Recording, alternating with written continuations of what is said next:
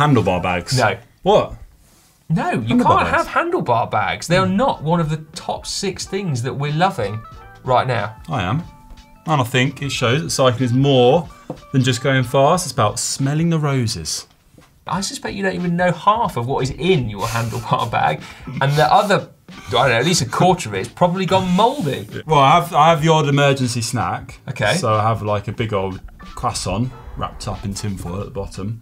um, spare clothes, spare bit of spare bit of cash, Yeah. tools, more food than the food I bring for the day, and then a bit more food just in case. Um, maybe a blanket if I want to sit down at the side of the road.